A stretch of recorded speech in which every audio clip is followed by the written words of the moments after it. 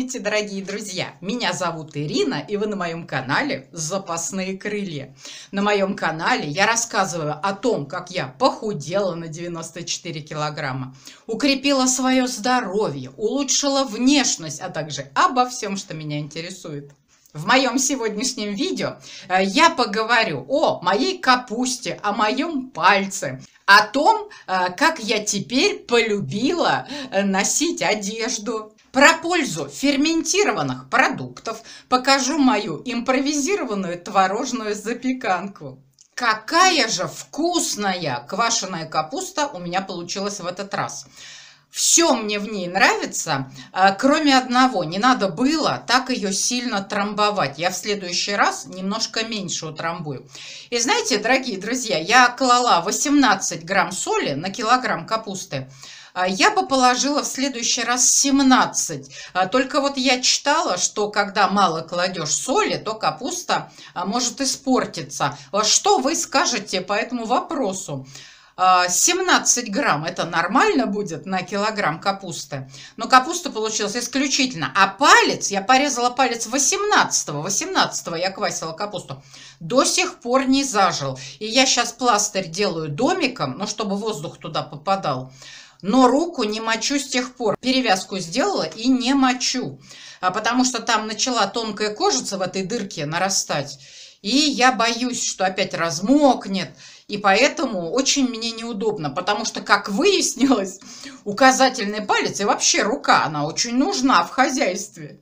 Не одеться нормально, э, не приготовить что-нибудь. То есть мне очень неудобно пока что с одной рукой. Э, в этот раз у меня капуста квасилась аж 6 дней. Ну, все по-разному квасят. Конечно, зависит это от объема, но главное от температуры, при которой эта капуста заквашивается. И в этот раз погода была прохладная, и у меня на кухне а, была температура в среднем 20-21 градус, и поэтому заквашивание было 6 а, дней. Но капуста получилась исключительно, я ее уже по банкам переложила, ну, маленьким, потому что 5-литровую банку я боюсь ставить. У меня везде во всех холодильниках стеклянные полки, и такой вес 5,5 килограмм я боюсь ставить, а вдруг полка рухнет. Как хорошо раньше было в советских холодильниках, железные полки. А, у меня были холодильники Минск и морозилка Минск Атлант у меня служит уже 30 лет верой и правдой.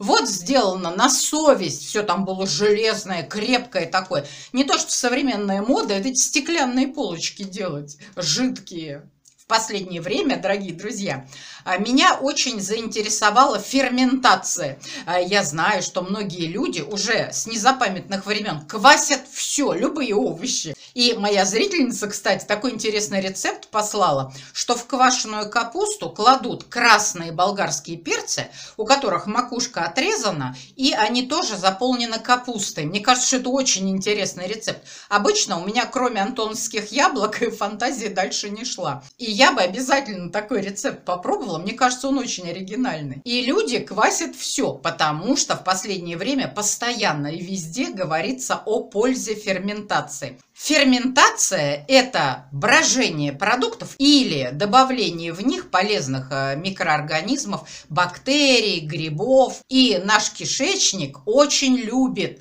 э, молочно-кислые бактерии. И за то, а, что мы подселяем в него полезные молочно-кислые бактерии, скажет нам огромное русское мерси потому что это помогает ему лучше переваривать пищу. И к тому же молочно-кислые бактерии обеззараживают еду, то есть убивают какие-то патогенные микроорганизмы. Какие же продукты относятся к ферментированным? Ну, во-первых, наши привычные продукты. Это квашеная капуста и соленые огурцы. Именно соленые, не маринованные. Вот я помню, мы с мужем э, делали огурцы, даже закатывали в банке, но сначала сначала их квасили. И когда мы их в банке закатывали, а, то там была вот эта белая молочно-кислая кислота, прям рассол был белый. И когда она осаживалась на огурцы, было такое впечатление, ну, в банках, как будто они снегом припорошены.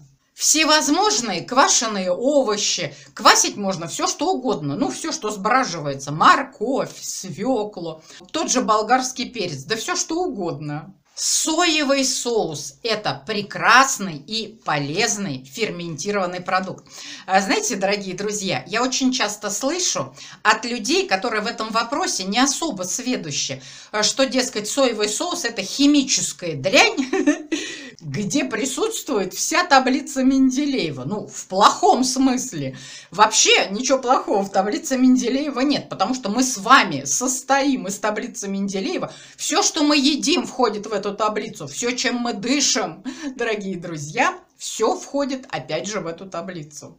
Настоящий, тот самый ферментированный, полезный соевый соус – был придуман в Китае еще 3000 лет назад. Представляете? В Китае, не в Японии. Гораздо позже рецепт соевого соуса попал в Японию. В Японии он был творчески переработан и улучшен.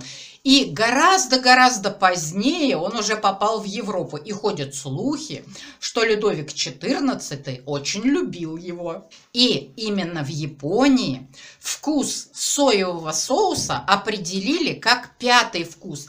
До этого у нас с вами, дорогие друзья, было всего четыре вкуса. Это горький, кислый, сладкий и соленый. И когда соевый соус появился в Японии, а, то был открыт новый вкус. Он называется умами. Кстати, страшный и пугающий глутамат натрия, то есть глутамат, он тоже относится к этому вкусу умами и добывается из водорослей комбу. Умами, по сути, это вкус высокобелковых веществ, а, например, таких как жареное мясо. И знаете, что любопытно? Сам умами – особо яркого вкуса не имеет, как и пресные белковые продукты, ну типа отварного мяса. Но когда они соединяются, происходит волшебное превращение, синергия.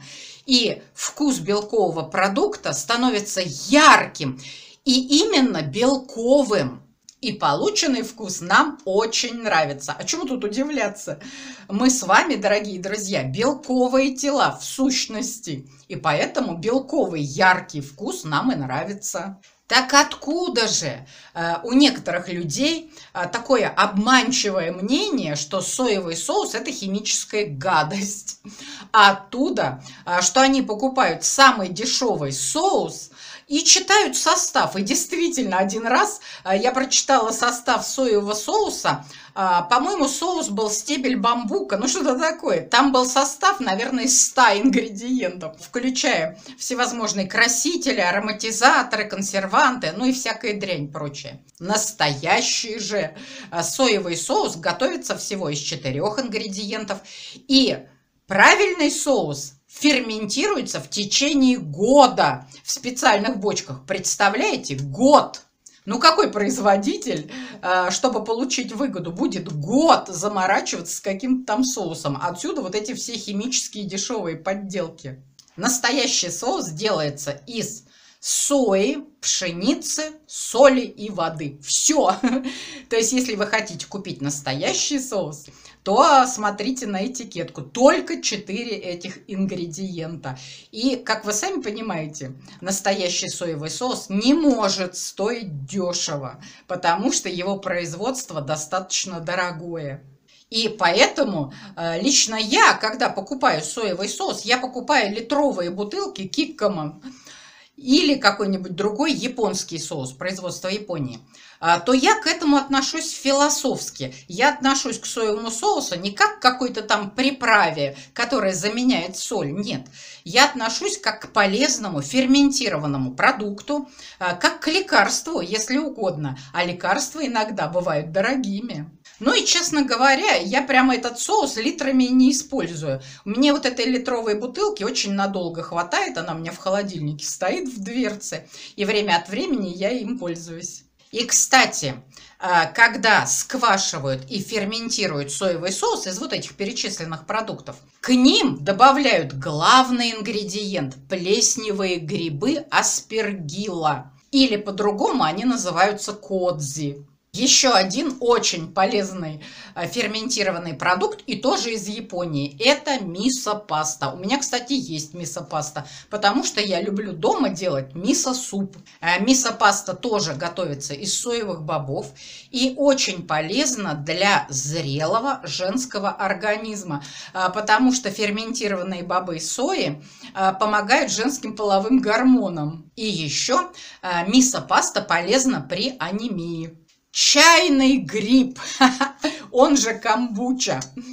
Кто из нас в юности, ну я имею в виду мои ровесницы, разумеется, э, не пил этот гриб, у кого он на кухне не стоял, прикрытый марлей. И помните, как мы в него э, с пятой чай выливали, сахарочка насыпали, чтобы его подкормить. И помните, как мы э, друг у друга брали, он же расслаивался, когда рос, и снимали аккуратно вот эти круглые пласты, отделяли эти блинчики и друг с другом делились. Иногда, помните, мы его доставали из банки, эту медузу, промывали, э, банку промывали и заливали его свежим рассолом, вернее, сиропом, правильнее сказать. И э, иногда мы его настаивали так, если его сразу не выпивать. Но иногда мы его выпивали быстрее, чем он успел настояться до нужной кондиции. И когда он был крепкий, когда мы его пили, аж в нос сшибало до слез, э, он был как газировка острая. А, очень был вкусный и полезный гриб. А, но потом мода на него, к сожалению, прошла. Кстати, дорогие друзья, а у вас сейчас, вот в данный момент, чайный гриб стоит на кухне, прикрытый марлечкой? Напишите мне, любопытно. Но сейчас он продается, потому что я как-то задумалась а, о покупке этого чайного гриба. Кстати, надо этим озадачиться и завести себе его. Пусть стоит в банке.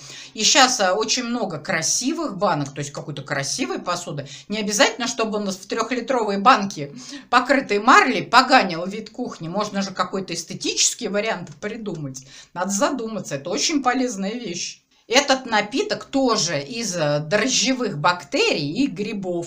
Чайный гриб э, контролирует уровень глюкозы и содержит полезные, необходимые нам антиоксиданты.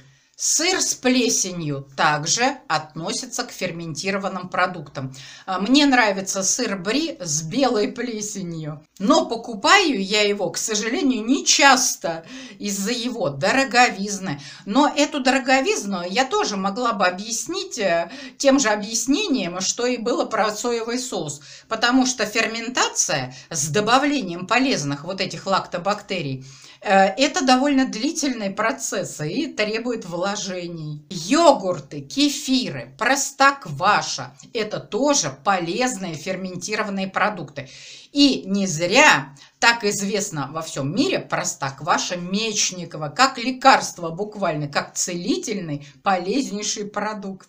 Поэтому, дорогие друзья, прослушав мой краткий обзор, давайте все как один выберем из списка ферментированных продуктов 2-3 полюбившихся и начнем их употреблять каждый день, помогая нашему кишечнику и укрепляя наш с вами иммунитет. Во второй части я хотела поболтать с вами и задать вам вопрос. Как вы любите носить одежду, чтобы она была строго по фигуре, а чтобы она была вам свободна или крайний вариант – это оверсайз, когда одежда на вас болтается, как на вешалке, и выглядит на 2-3 размера больше, чем вы сами. Вот раньше, дорогие друзья, а, я предпочитала носить одежду по фигуре.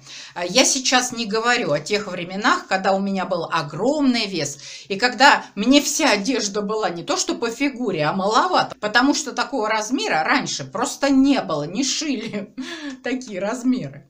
А я говорю о том времени, когда мой вес уже стал более-менее человеческим, и я могла покупать одежду в обычных магазинах.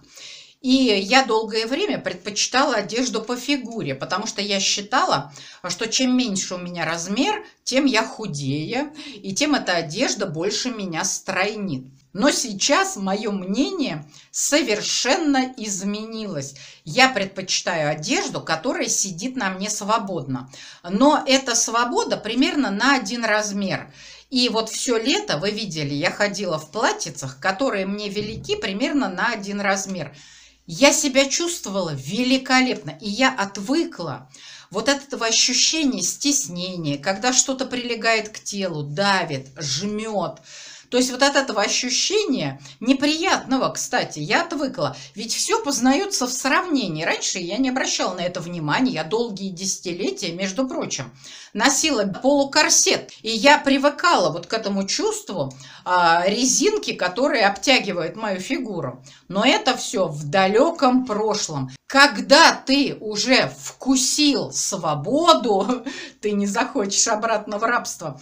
И я очень понимаю Коко Шанель, ведь это она была революционеркой э, в вопросе отказа женщин от ношения корсетов. А их корсеты, тогдашние корсеты, были в сто раз а, теснее, чем наши резиновые полуграции. То есть вы представляете, те корсеты, которые были твердые, их еще затягивали на теле. И Коко Шанель подарила женщинам свободу тела.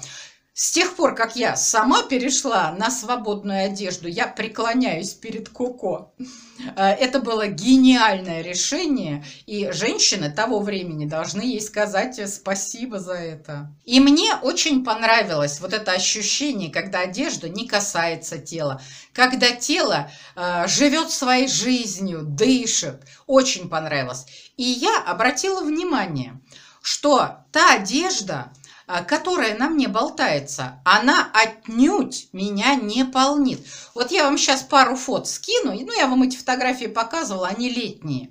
Но вы просто посмотрите, вот это серое платье с деревьями, оно, между прочим, 58 размера. Оно мне велико было на 2 размера. У меня сейчас примерно 54 размер. То есть на два размера. Оно было такое свободное. Но посмотрите на меня. Разве оно меня полнит? Вот это огромное количество лишней ткани, оборок – нет, дорогие друзья, я, глядя на себя, сказала бы, что напротив, вот это количество ткани, оно стройнит. И кажется, что человек похудел, и что там тельце такое маленькое, тщедушное среди этого избытка материи. Именно поэтому девушкам, когда они ночуют у молодых людей, рекомендуется утром надеть рубашку мужчины – которая ей велика, и в которой девушка кажется такой хрупкой и беззащитной. И в этом случае срабатывает эта ситуация тоже.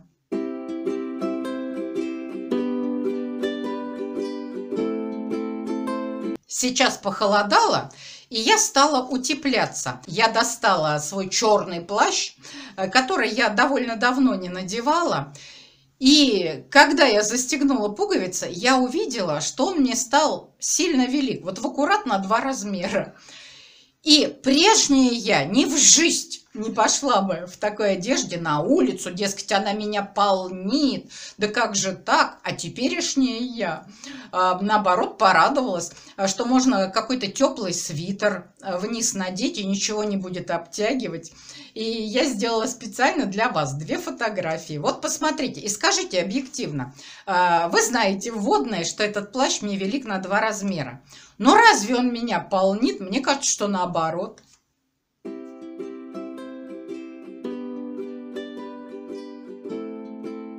И я часто думаю о женщинах прошлых веков, ведь они носили такие пышные платья. На одно такое платье уходило 10-20 а, метров ткани. Но разве это их полнило? Отнюдь. Вы знаете, дорогие друзья, я вам открою страшную тайну.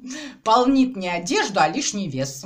И когда человек худой, никакая лишняя одежда его не будет полнить. А когда у человека лишний вес, то как бы он себя не обтягивал и не пытался влезть в меньший размер, все равно все будут видеть, что одежда ему мала, что она трещит по швам. И будут думать, что он поправился. То есть вы понимаете, как работает наш мозг. Если что-то на вас болтается, то есть вы нарочно купили оверсайз, то человек думает, ой, как она похудела. А когда ты покупаешь одежду на размер меньше, но за то, чтобы похвастаться, а я ношу эсочку, например, то люди думают, ого, как поправилась одежда на ней, смотри, как мала. Вот-вот швы-то разойдутся. И я давным-давно э, хотела задать вам вопрос, и вот в этой теме он будет очень уместен. Э, конечно, э, я сейчас обращаюсь к тем людям, у которых лишний вес, и которым худеть необходимо. Мой вопрос такой. Вот, допустим, вы, как я, с большого веса, похудели, у вас энтузиазм, вы уверены в себе, что вы больше никогда не наберете этот ужасный вес назад. И у вас осталось много лишней одежды большого размера. Что вы с ней делаете? Э, здесь есть несколько вариантов. Продаете, раздаете или оставляете на всякий пожарный. Ох, дорогие друзья, сколько же раз я обжигалась на этом вопросе. И поэтому я сейчас его и подняла. Когда ты находишься на похудейской волне, тебе кажется, что ты царь мира, что все в твоей власти, что ты можешь абсолютно все. Дайте мне точку опоры, как говорил философ, и я переверну мир. И у меня каждый раз раньше, давно, когда я была на похудейской волне, было именно это чувство. И я всю свою одежду больших размеров что-то выкидывала безжалостно, ну то, что уже было так себе, а что-то продавала, помню еще на молотке, впоследствии на Авито, и покупала одежду того размера, до которого я дохудела. И знаете, у меня еще была одна ошибка. В те времена допустим, а, с весом 170 я себе ставила а, целью 100 килограмм тогда, потому что для меня тогда казалось, что 100 килограмм это очень хорошо, что в 100 килограмм я буду выглядеть худой. И, кстати, дорогие друзья, так и вышло, между прочим, потому что я вам уже рассказывала об этом феномене, не побоюсь этого слова, что когда вы до одного и того же веса толстеете или худеете, вы выглядите совершенно по-разному. Совершенно. Это так кажется, что какая разница, если я вешу 100 килограмм, похудела я до этого веса или поправилась? Отнюдь. Когда вы худеете до этого веса, вы выглядите в 100 килограмм гораздо худее. Вот я вам сейчас покажу фотографию 2006 года. А, тогда я худела, худела, худела неправильно, худела жестко, худела голодая. А, то есть э, это была неправильная диета. И после этого вес у меня набрался, но я говорю сейчас не об этом, а о том, что тогда я худела. И я дохудела до 100 килограмм. Вот посмотрите на меня в 100 килограмм и скажите, разве я выгляжу на 100 килограмм? Ключицы у меня торчали все. То есть я выглядела худее этого веса. Но если я сейчас поправлюсь до 100 килограмм, будьте уверены, что лицо у меня будет как блин, и от ключиц не останется и следа.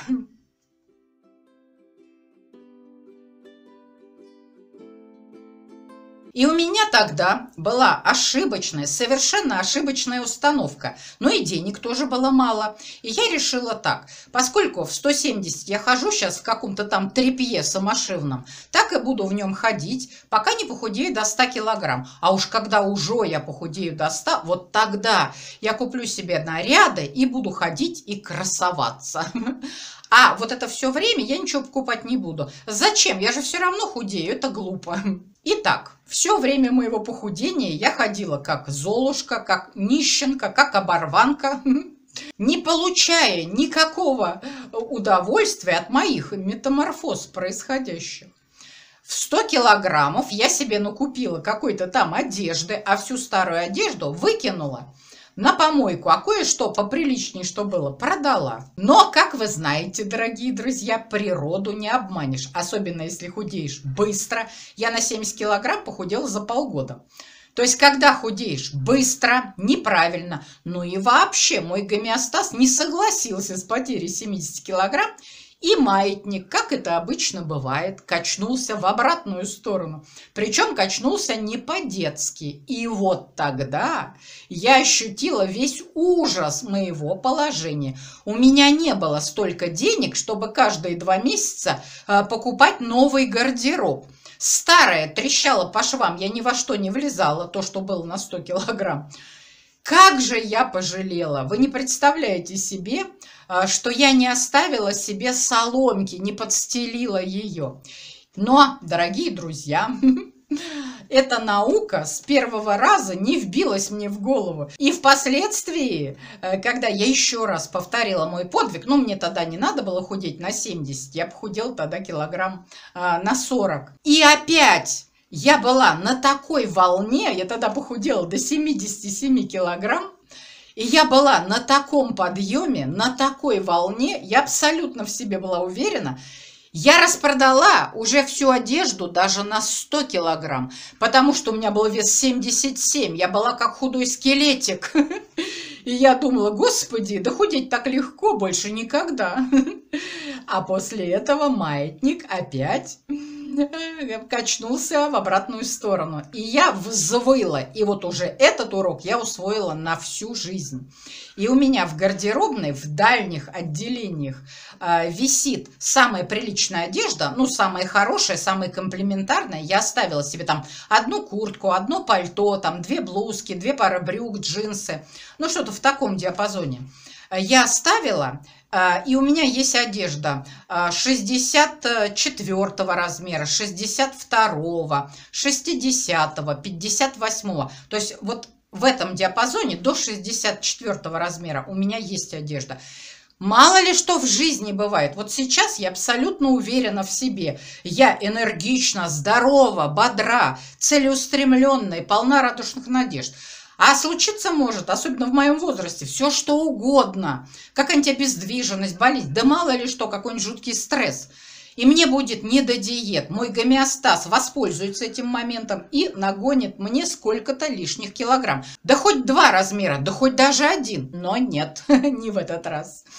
Э, умные люди говорят, учится на чужих ошибках. Если честно, дорогие друзья, я в это слабо верю. А, потому что то, через что вы не прошли, а, понимаете, а, то плохо вам в голову заходит. Это плохой урок. А вот то, через что вы прошли и выстрадали, вот это вы уже не забудете никогда. Как я с моим пальцем. Конечно, в следующий раз я на эту руку надену толстую резиновую перчатку и буду резать аккуратнее. И, конечно, второй раз я уже не допущу этой ситуации, понимаете? А знание о том, что кто-то там шинковал капусту и шинковкой себе подушку пальца отчекрыжил, ну, честно говоря, я посочувствовала бы, но не думаю, чтобы это на меня произвело такое неизгладимое впечатление, как сейчас производит мой палец, который никак не заживет, дергает, и пластырь вот этот, которым я за все цепляюсь, вот это гораздо, гораздо действеннее. Но мне очень любопытно услышать ваш ответ на мой вопрос. Что вы делаете с вещами, которые стали вам велики после похудения? Напишите. И еще в этой болталке я хочу вам рассказать о моей творожной запеканке. Uh, у меня лежал творог, я купила творог в таких вот треугольных упаковочках вакуумных, uh, Матроскин, полосатый такой. И у меня четыре пачки залежались. То есть как-то я перешла на другую еду и просто честно вот про них забыла. А тут я в холодильник полезла и в дальнем углу увидела 4 пачки. А у них уже срок годности вышел. Но я эти пачки взяла. На вид абсолютно нормальные. Упаковка не вздулась. Я их вскрыла. Понюхала запах обычного творога. Попробовала а, на вкус обычный творог. Но я в сыром виде все-таки не рискнула есть, а решила сделать импровизированную запеканку. У меня запеканка получилась, сразу скажу, исключительная ну просто волшебная, просто каприз художника. Я клала все на интуиции без всяких рецептов. И мне она очень понравилась. Но, что я вам хочу сказать. Есть такие продукты, лично для меня, такие продукты, которые хороши только с пылу с жару. Например, жареная картошка. Вот вы ее пожарили, она с хрустом. Она такая вкусная, аромат такой. Но если вы вот эту сковородочку с жареной картошкой поставите в холодильник, а на следующее утро попробуете ее съесть в холодном виде или даже попытаетесь подогреть в микроволновке, это, дорогие друзья, будет гадость. Уже гадость. Навряд ли кто-то из вас так делает, жарит впрок и хранит в холодильнике. И вот для меня Творожная запеканка к этому же относится. Вчера, когда я ее сделала, она была с полужара, а я еще туда ванилина немножко положила и яблок. А, она получилась изумительная. И знаете, в этот раз Я делала запеканку не диетическую, в которую я добавляю сахарозаменитель, а, вместо муки клетчатку. Нет, я решила сделать а, запеканку человеческую, но я постаралась все же сделать ее наименее калорийной. Что я туда положила? Творог, 4 пачки, 60 грамм сахара настоящего, ванилин, 80 грамм муки и два таких больших крупных яблока сладких порезала кубиками и три яйца. Вот весь рецепт. Я все это перемешала, в форму положила и поставила в духовку разогретую до 200 градусов на 30 минут. Дорогие друзья, вы не представляете, какой запах витал по квартире. Моя запеканка со всех сторон подрумянилась, потому что я еще форму маслом смазала. В запеканке масла нет, а вот форма смазана. Творог у меня был 5 процентный. И такой запах, советский запах по квартире пошел. Потому что я с моими вечными диетами уже отвыкла от советских, вкусных, человеческих, как я их называю, запахов. И когда запеканка приготовилась, я ее достала. Она со всех сторон румяная, а внутри как суфле. Такая вот, знаете, сочная-сочная. И я сначала...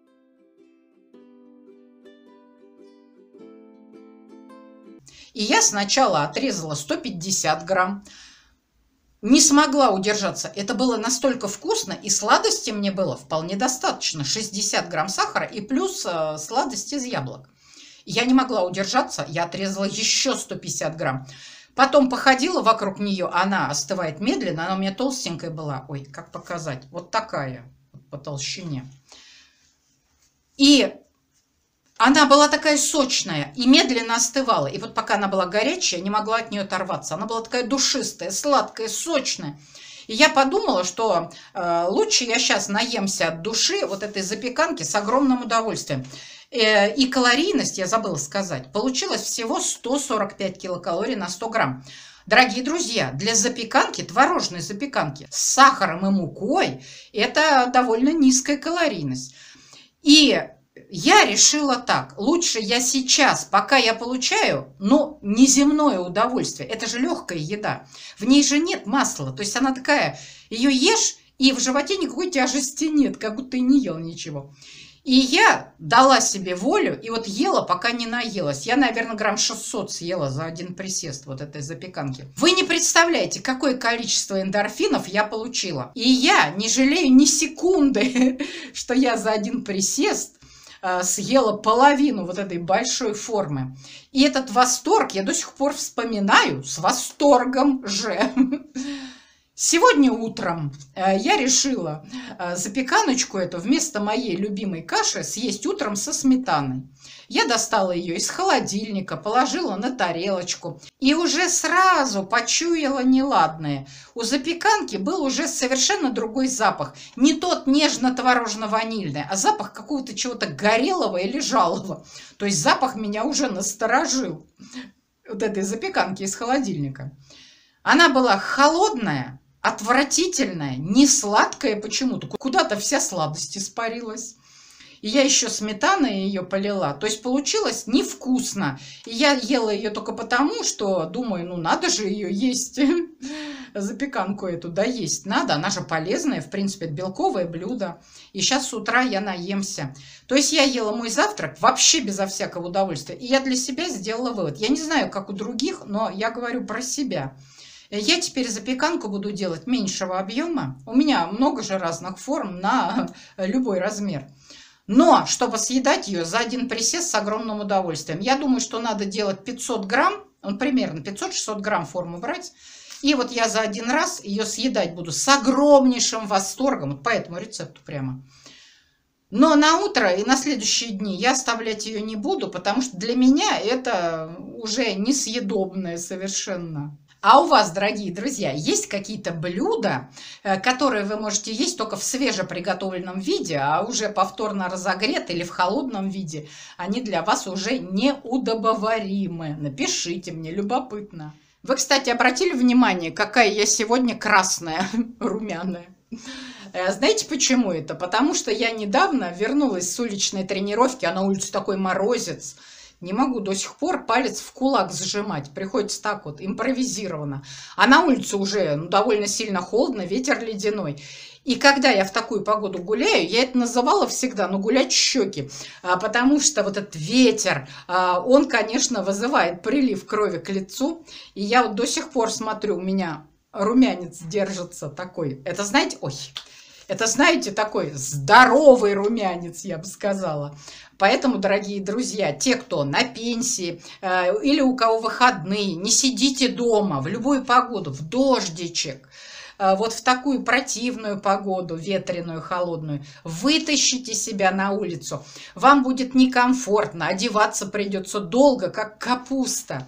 Зато когда вы вернетесь домой, вы будете бодрые, румяные, веселая, довольная, с каким аппетитом вы навернете каких-нибудь кислых щей горячих или чего-нибудь такого мясного, э, получите огромное удовольствие. Ну вот, дорогие друзья, и закончилась моя болталка. А в конце, как всегда, моя любимая аффирмация. С каждым днем моя жизнь чудесным образом становится лучше и лучше во всех направлениях. Пока!